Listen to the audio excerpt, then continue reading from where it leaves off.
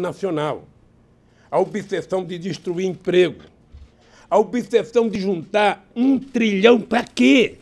As custas dos aposentados. Se eles lessem alguma coisa, se eles conversassem, eles saberiam que esse cidadão aqui, analfabeto, quarto ano primário, um curso de torneiro mecânico, juntou 370 bilhões de dólares de reserva que a quatro reais o dólar dá mais de um trilhão e duzentos sem causar nenhum prejuízo a nenhum brasileiro. Então, se eles querem juntar um trilhão, tem uma fórmula secreta. Coloque o povo no orçamento da União. Segundo, gere emprego. Terceiro, gere crédito para as pessoas. Ah, o povo está devendo, tá.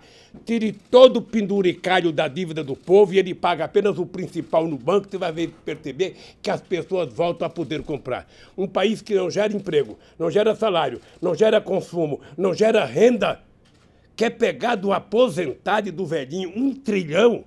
O Guedes precisava criar vergonha. Onde que ele fez esse curso de economia dele?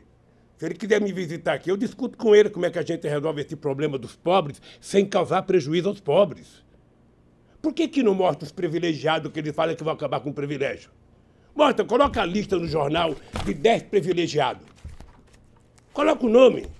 CPF. Não, é o coitado, sabe? Que vai ter que trabalhar até os 65 anos, que vai ter que contribuir 40 anos, sabe? Ele não percebe que muita gente morre sem chegar à cidade. Então, eu, eu, lamento profundamente, lamento profundamente o desastre que está acontecendo nesse país, e é por isso que eu me mantenho em pé. O dia que eu sair daqui, eles sabem. O dia que eu sair daqui, eles sabem. Eu estarei com o pé na estrada. Para, junto com esse povo, levantar a cabeça e não deixar entregar o Brasil aos americanos. Acabar com esse complexo de vira-lata. Eu nunca vi um presidente bater continência para a bandeira americana. Eu nunca vi um presidente ficar dizendo eu amo os Estados Unidos, eu amo. Ama sua mãe, ama o seu país. Que ama os Estados Unidos, que ama. Alguém acha que os Estados Unidos vai favorecer o Brasil? Americano pensa em americano em primeiro lugar, pensa em americano em segundo lugar, pensa em americano em terceiro lugar, pensa em americano em quinto, e se sobrar tempo, pensa em americano.